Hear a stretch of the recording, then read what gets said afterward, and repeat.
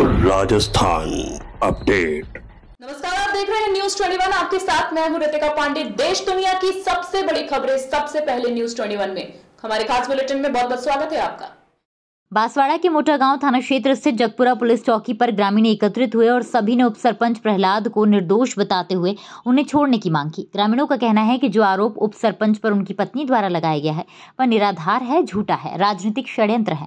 इसको लेकर सभी ग्रामीण एकत्रित हुए। इस दौरान पुलिस ने ग्रामीणों को समझाइश दी। ग्रामीणों ने कहा कि जब चाहे तब आप हमें बुलाना, हम सभी आ जाएँगे और जो बात सही है वही बताएँगे। इस मामले की निष्पक्ष जाँच कर उप सरपंच को छोड़ देने की अपील की है। गौरतलब है कि मोटा गाँव थाना क्षेत्र में विवाहिता को डायन बताकर, निर्वस्त्र कर मारपीट करने के मामले को लेकर आरोपियों की गिरफ्तारी हुई है। उसी को राजनीतिक षड्यंत्र बताकर ग्रामीण निष्पक्ष जाँच की मांग कर रहे हैं।